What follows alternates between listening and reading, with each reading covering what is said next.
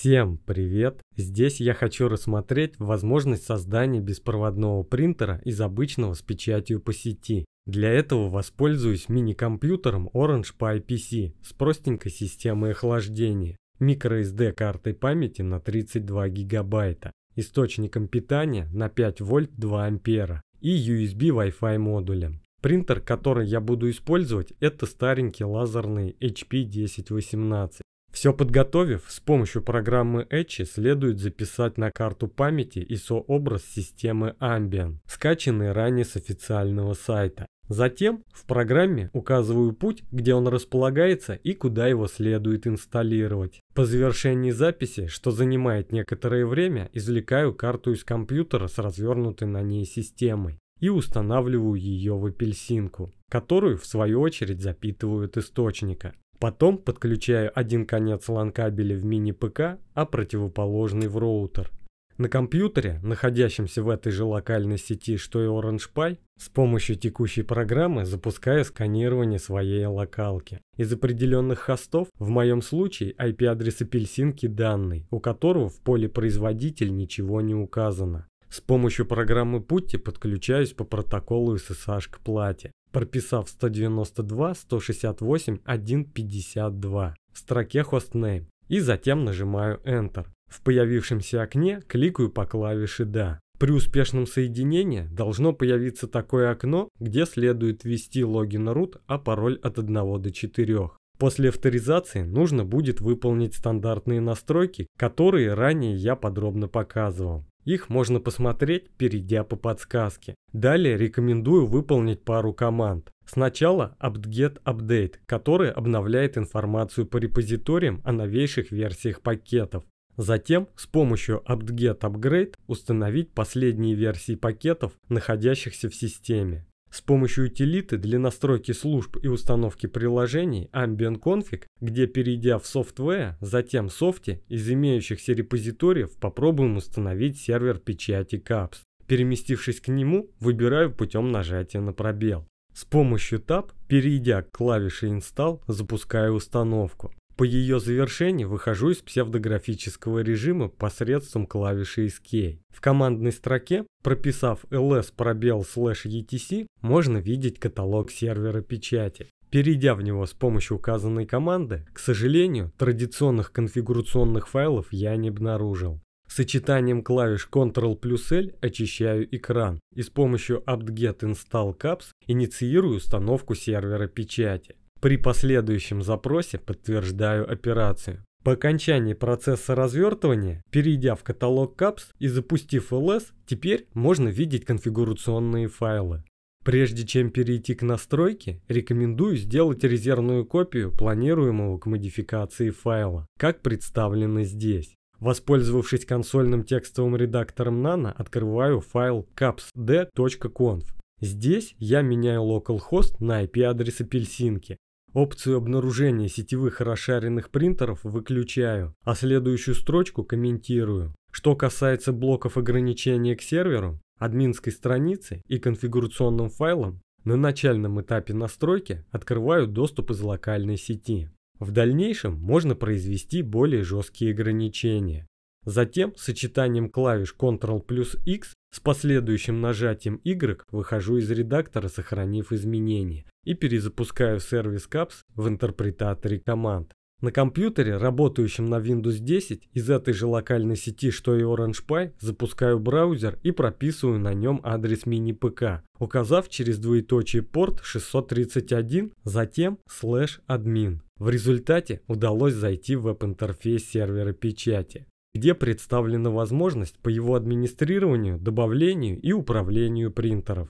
К апельсинке с помощью USB кабеля подключаю принтер. Вернувшись обратно к пути и введя команду ls-usb, проверяю, отображается ли она в системе. Как видим, он здесь есть. Но так как мне посчастливилось использовать принтак HP LaserJet 1018, то, как выяснилось, для него в стандартном наборе капс драйверов нет. Поэтому попробую их установить, воспользовавшись указанной командой. По завершении ее работы запускаю следующую, в которой интуитивно понятно указываю требуемые для меня опции. Установив дрова, на всякий случай перезапускаю сервер печати. Перейдя обратно в браузер к веб-интерфейсу CAPS, обновляю страницу и нажимаю «Добавить принтер». Здесь через несколько секунд появляется окно авторизации. И так как я не создал пользователей для сетевой службы, что в дальнейшем рекомендую сделать с целью безопасности, ввожу здесь логин и пароль от учетной записи root. На следующем этапе из подключенных принтеров к апельсинке выбираю данный, в имени которого имеется упоминание USB и нажимаю «Продолжить». Тут можно поменять название, описание и расположение, но главное нужно поставить галочку у поля «Разрешить совместный доступ». Далее из представленного многообразия драйверов следует выбрать определенный для своего принтака. Я указываю данные и кликаю по клавише «Добавить принтер». Параметры печати устанавливаю стандартные для листа А4. Сохранив произведенные настройки и переместившись в пункт меню принтера, я заметил, что в строке драйвер почему-то написана цветная двухсторонняя печать. В текущем разделе имеется ряд возможностей по управлению печатающего агрегата. Теперь попробуем подключить принтер по сети все к тому же удаленному компьютеру. Из адресной строки браузера копирую путь и перехожу в пуск, далее параметры, затем устройство и в левой части меню выбираю принтеры и сканеры. Здесь нажимаю «Добавить принтер» или сканер, чуть ниже кликаю по появившейся надписи. В окне установки принтера указываю «Выбрать общий» и вставляю из буфера обмена скопированный из браузера адрес. Только здесь корректирую протокол HTTPS на HTTP и нажимаю «Далее». В мастере установки указываю драйвер для своего HP принтера. По завершению нажимаю «Готово». Подключив таким образом сетевой принтер, попробуем на нем распечатать. Для этого снова перехожу в пуск и запускаю Word. Написав здесь тест, сочетанием клавиш Ctrl плюс P вызываю окно печати. Выбираю только что настроенный сетевой принтер и инициализирую печать. Подождав некоторое время, принтер ничего не распечатал. Полагаю, что проблема вызвана драйвером.